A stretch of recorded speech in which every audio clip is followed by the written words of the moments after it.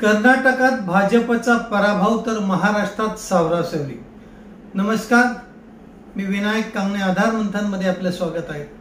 नुकतेच कर्नाटक राज्याचे निकाल लागले आणि त्यामध्ये भाजपचा अक्षरशः दारुण पराभव झालाय.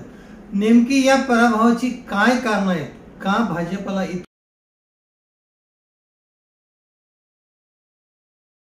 इतकं मोठं अपयश आलंय? आणि त्यामुळे इतर पक्षांना एक मोठी संजीवनीच मिळाली आहे. त्यामुळे भाजपकडून कर्नाटका जरी सुटलं असलं तरी संपूर्ण देशामध्ये मात्र आता विरोधक ही भाजपसाठी मोठी डोकी डोकी झाली. या विषयावर आपण आज सविस्तर चर्चा करणार आहोत की नेमके कर्नाटक राज्य जे भाजपच्या ताब्यातून सुटलंय त्यामध्ये भाजपच्या नेमक्या काय चुका झाल्या कोणत्या मुद्द्यांमुळे भाजपला इतकं मोठं हे अपयश आलंय यावर जर आपण एक नजर टाकली तर भाजपने कर्नाटकमध्ये कोणत्याही प्रकारचा विकास कामांचा मुद्दा न घेता मागील एक ते दीड वर्षांपासून फक्त हिंदू नरेंद्र मोदी या विषयांवरच जास्तीत जास्त त्या सभेत सुद्धा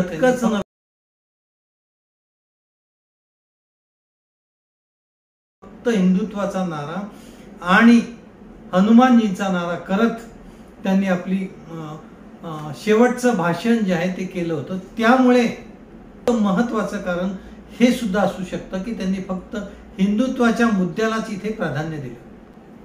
त्यानंतर दुसरा आणि अत्यंत महत्त्वाचा मुद्दा म्हणता येईल तर मुस्लिमांचं आरक्षण कर्नाटक राज्याने रद्द केलं होतं. तसेच शालेय ज्या विद्यार्थिनी आहेत मुस्लिम विद्यार्थिनी त्यांच्या हिसाबवर सुद्धा त्यांनी हिजाबवर बंदी आणण्याचा सुद्धा त्यांनी प्रस्ताव केला होता. आणि एकंदरीतच काय तर हिंदू मुस्लिम या विषयांवर जास्तीत जास्त फोकस केला आणि हिंदुत्वाचा नारा देत अनेक विषय असतील हिंदुत्वाचे ज्याकडेच फक्त भाजपने फोकस केला आणि इतर महत्त्वाचे विकास काम असतील त्याकडे कोणत्याही प्रकारचा अजिंठाच त्यांनी राबवला नाही. कर्नाटकात लिंगायत ओक ओकलिंगा या दोन जमातींचं जास्तीत जास्त वर्चस्व आहे. त्यांचा जास्तीत जास्त मोठा समाज आहे. मात्र याकडेच भाजपने दुर्लक्ष केलं आणि त्याचा मोठा फटका त्यांना मिळाला कारण त्या समाजाचे अनेक नेत्यांना जे पूर्वीपासून नेतृत्व करत होते त्यांना मात्र यावेळेला भाजपने वगळलं होतं.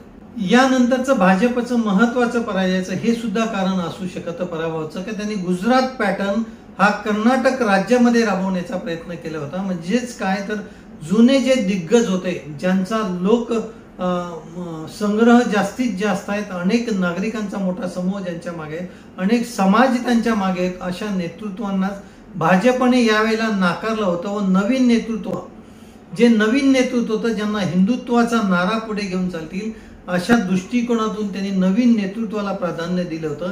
आणि हा सुद्धा भाजपसाठी एक पराभवासाठी एक मोठं कारण होतं. कारण जे दिग्गज होते अनेक वर्षांपासून जे निवडून होते त्यांनाच तिकीट नाकारल्यामुळे त्यांच्यात सुद्धा अंतर्गत नाराजी होती. अनेक जण सोडून काँग्रेसमध्ये सुद्धा गेले होते. तिथे जाऊन सुद्धा काहींचा जरी पराभव झाला असला तरी मात्र भाजपसाठी हा सुद्धा हा प्रयोग सुद्धा गुजरात पॅटर्न प्रयोग कर्नाटकामध्ये चक्क फसलेला दिसतोय.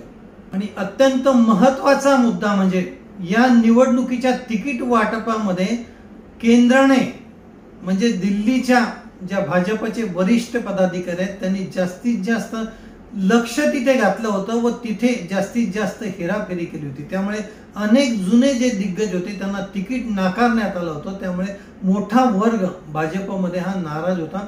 नवीन चेहऱ्यांना नवीन नेतृत्व तयार करण्याचा त्यांनी भाजपने एक प्रयत्न केला होता. आणि जे जुने दिग्गज होते त्यांना मात्र विश्वासात न घेता हे तिकीट वाटप करण्यात आलं होतं. यामध्ये सुद्धा भाजपची रणनीती मोठ्या प्रमाणात फसलेली दिसत आहे. कर्नाटकात जरी भाजपचा पराभव झाला असला तरी संपूर्ण देशामध्ये आता भाजप विरोधाची लाट ही आक्रमक होणार आहेत आणि विशेषतः महाराष्ट्रात एक वर्षानंतर ज्या निवडणुका आहेत विशेष म्हणजे पाच ते सहा महिन्यानंतर मुंबई महानगरपालिका निवडणुका असतील किंवा इतर अनेक महानगरपालिकांच्या सुद्धा निवडणुका आहेत त्यामुळे महाराष्ट्राने एक मोठाच या पराभवाचा धास्ता घेतला असावा आणि त्यामुळे आता महाराष्ट्रात ज्या पद्धतीने पॅटर्न वापरले जात होते हिंदुत्वाचा नारा असतील किंवा इतर नेतृत्वात बदल करणं असेल याला कुठेतरी आता एक खेळ बसेल आणि भाजप वरिष्ठ नेतृत्व नक्कीच महाराष्ट्रातील जे नेतृत्व आहेत म्हणजे विशेषतः देवेंद्र फडणवीस यांच्याच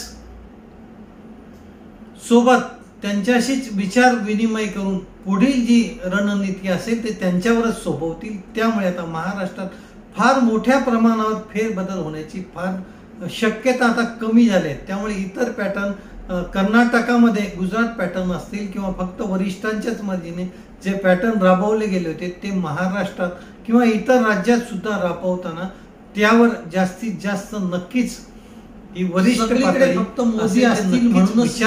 निवडून. त्यामुळे एकंदरीतच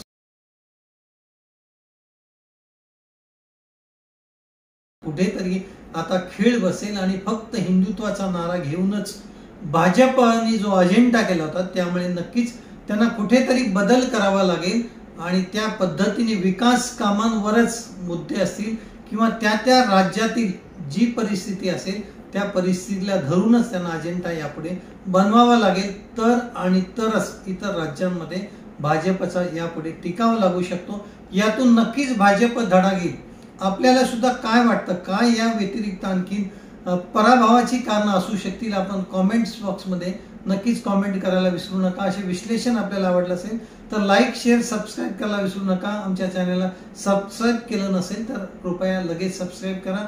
यासारखे वेगवेगळे व्हिडिओ आपल्याला यापुढे सुद्धा दररोज बघायला मिळतील. भेटूया अशाच पुढील भागात. जय हिंद जय महाराष्ट्र.